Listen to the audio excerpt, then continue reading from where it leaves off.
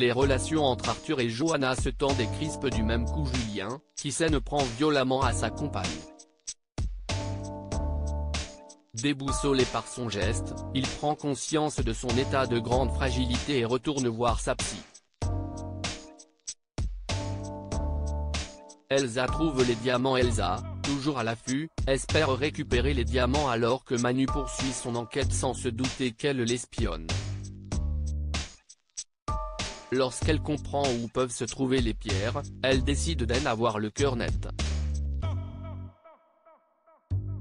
Mais le coup, mal préparé, vire au drame. Jonathan ne veut plus masquer la haine viscérale qu'il éprouve pour son frère, quitte à être plus lourdement condamné. Florent s'inquiète pour lui alors que Kira lui rappelle combien Jonathan est capable de manipulation. Arthur organise un barbecue pour fêter les résultats du baccalauréat. Au moment de valider leurs vœux, certains doutent de leur choix et craignent de décevoir leurs parents.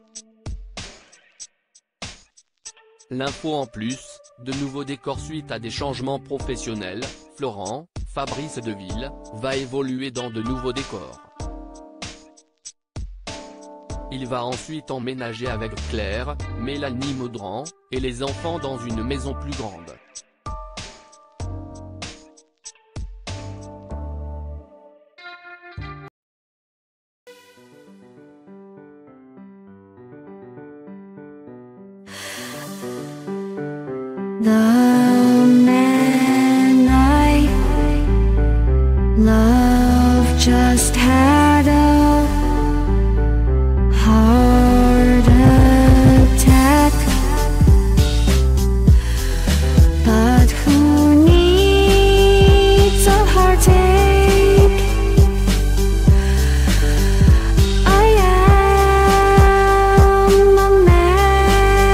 she is all